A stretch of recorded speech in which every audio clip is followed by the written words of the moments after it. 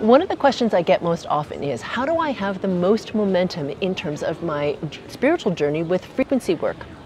So typically when people start with frequency work, there is a tremendous amount of excitement and momentum because as you release these heavy distortion patterns, especially because most people have so many of them, you can really feel a difference between the heaviness and the density of the way you used to be and how you start to feel. And people's realities can shift very quickly and reorganize around them.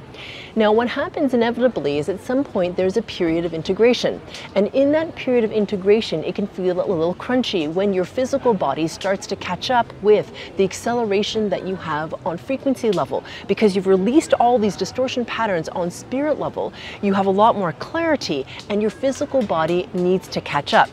So the very big trick is, especially for those of you who are new, or even those of you who are more experienced and hit these sort of plateaus, is to give yourself enough time and space to integrate these periods, to give yourself self-care, to do a little bit less in terms of your scheduling, to allow your body to catch up so that you can integrate and continue to have the momentum that accelerates as you ascend higher.